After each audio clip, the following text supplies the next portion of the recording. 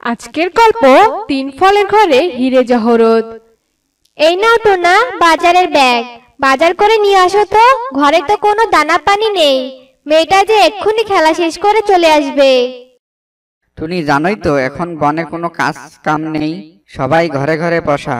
এখন তুমিই বলো তো হাতে কোনো টাকা পয়সা না থাকলে কি করে বাজার নিয়ে আসব? টোনা এভাবে কি সংসার চলে বলো তো দুদিন থেকে তো তুমি আর আমি না খেয়ে আছি, আর মেয়েটা বিনা পায়ের ঘর থেকে খাবার ধার করে এনে খাওয়াচ্ছি। সেই ধারগুলো তো শোধ করতে হবে নাকি? আর পাখিদের বাসায় কাজ করতে চাইলে তো তুমি কাজও করতে দাও না। না না টুনি, আমাদের যতই কষ্ট হোক না কেন, তবুও তুমি পাখিদের বাসায় কাজ করবে না। এতে আমার যা মান সম্মান আছে, একেবারে ধুলোই মিশে যাবে।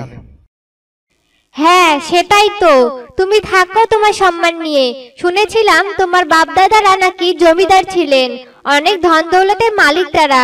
কিন্তু এখন দেখো জমিদারের জও নেই খালি বাসাটা ছাড়া। টোনা আর টুনি যখন কথা বলছিল তখন ছোট টুনটুনি তুলি চলে আসে। বাবা মা তোমরা একসাথে বসে আছো? ভালোই হলো। মা, ও মা, জানো, কাকলি মাসি কুকির জন্য কি সুন্দর একটা নেকলেস এনেছে। আমার না ওই নেকলেসটা অনেক পছন্দ হয়েছে মা। তোমরা কি আমাকে অমন একটা নেকলেস কিনে দিবে? মারে আমরা যে অনেক গরিব, তোকে আমরা এত দামি নেকলেস কি করে কিনে দিব বলতো? কদিন ধরে বাজার করার মতো কোনো টাকা পয়সাই নেই হাতে।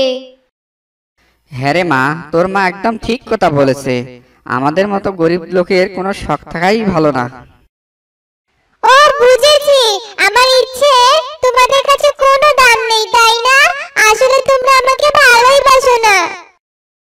এ কথা বলে ছোট তুলি বাইরে চলে যায়।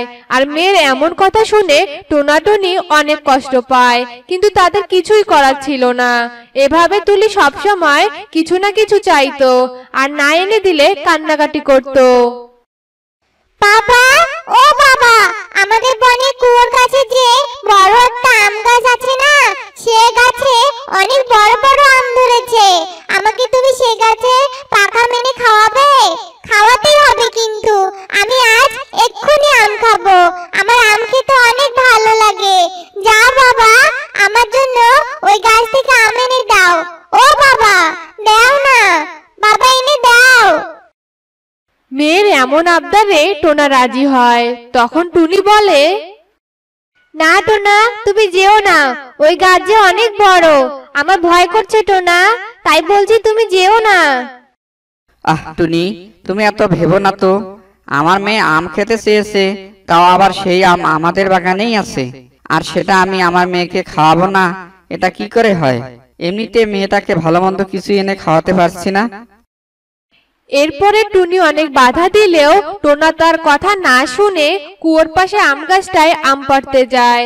আর তারপর টোনা বড় বড় আম পাড়তে ধরে ধপাস করে কুয়োয় পড়ে যায়। টুনি কথা শুনতে পেরে টুনি আর ছোট টুনটুনি কুয়োর পাশে আসে। হে সৃষ্টিকর্তা, এখন কি হবে? আমি এতবার করে নিষেধ করলাম, কিন্তু সে আমার কোনো কথাই শুনলো না। জানিস, তুলি, আজকে তোর জন্য এমন হয়েছে। মায়ের এমন কথা শুনে তুলি অনেক কষ্ট পায় আর অনেক কান্নাকাটি করার পর মা মেয়ে বাসায় চলে যায়। অন্যদিকে টোনা কুয়োতে পড়ার সাথে সাথে অন্য দেশে চলে যায়। সেখানে যেতেই টোনা দেখতে পায় তিনটি ফলের বাড়ি। একটি বাড়ি আমের, একটি বাড়ি পেয়ারার আর একটি বাড়ি কাঁঠালের। আর সে তিনটি বাড়িতে ছিল সোনা, রূপা, হীরা, যা দেখে টোনা একেবারে চমকে যায়। হে সৃষ্টিকর্তা, একেই তো কুয়েতে পড়ে এলাম অজানা এক জায়গায়। তার মাঝে দেখি তিনটা ফলের বাড়ি আর প্রত্যেকটা বাড়িতে সোনা, রূপা, হিরে। আচ্ছা আমার বাপ দাদারা তো জমিদার ছিল, তবে কি তারাই এই কুয়ের ভিতরে তিন ফলের হিরে জহরত রেখে গেছে? তাহলে তো ভালোই হতো। আমি বরং তিন ঘর থেকে কিছু হিরে, সোনা, রূপা নিয়ে বাড়িতে যাই। আমাকে একটুও লোভ করা যাবে না। এইসব বলে টোনা তিন ঘর থেকে কিছু হিরে সোনা রূপা নিয়ে বাইরে চলে আসে আর বাড়ি ফিরে যায়।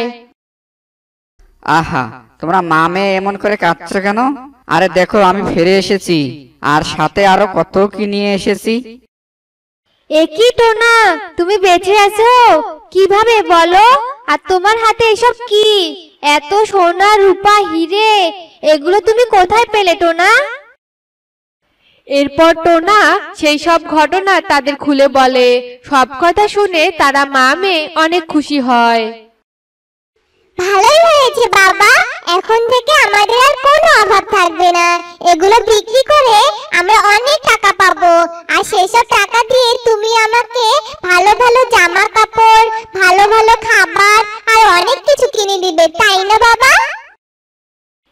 থেকে টোনা প্রায় সেই তিন ফলের বাড়ি থেকে তার যতটুকু প্রয়োজন ততটুকু করে হিরে, সোনা, রূপা নিয়ে আসতো। আর সেগুলো বিক্রি করে অনেক টাকা রোজগার করত। আর তখন থেকে তারা সুখে দিন কাটাতো। এইভাবে বেশ কিছু দিন কেটে যায়। অন্যদিকে টোনাদের এমন উন্নতি দেখে কাকলি বেশ চিন্তায় পড়ে যায়। কি ব্যাপার? টোনারা তো অনেক গরিব ছিল। তাহলে হঠাৎ এমন কি হলো যে ওরা এত তাড়াতাড়ি বড়লোক হয়ে যাচ্ছে? মনে হচ্ছে কোনো গন্ডগোল আছে। আজই ব্যাপারটা আমাকে দেখতে হবে। এরপর কাকুলি কাক টোনার ওপর নজর রাখতে শুরু করে আর সে টোনাকে কুয়ো থেকে স্বর্ণমুদ্রা আনতে দেখতে পায়। সে কি? তাহলে এই ব্যাপার। তবে ভালোই হলো। এখন থেকে আমিও কুয়োর ভিতর থেকে অনেক হিরে, সোনা, রূপা এগুলো নিয়ে আসব। আর ওদের থেকে অনেক বড়লোক হব আমি। এসব ভেবে কাকুলি কাক বাড়ি চলে যায়। আর পরের দিন কাকুলি কাক যেই না কুয়োতে থাকার মইটাতে পা দিয়েছে, অমনি পা পিছলে পড়ে যায়। আর কাকুলি কাক কুয়োতে পড়ে গিয়ে মাথায় প্রচণ্ড আঘাত পায়। আর কিছুক্ষণ পর টোনা এসে দেখতে পায় তারপর টোনা কাকলিকাকে উদ্ধার করে হাসপাতালে নিয়ে যায়। আর কিছুক্ষণ পরে কাকলিকাকে জ্ঞান ফিরে আসে। কিন্তু মাথায় প্রচণ্ড আঘাত পাওয়ার কারণে কাকলিকাকে স্মৃতিশক্তি নষ্ট হয়ে যায়। সে কি? আমি কোথায়? আমি এখানে কেন? আর আমি বা কে? আর বাসা তোমরা আবার কারা? কাকলির এসব কাণ্ড দেখে টোনা অনেক হাসতে থাকে। আর মনে মনে বলে যাক, কাকলির স্মৃতিশক্তি চলে গিয়ে ভালোই হয়েছে।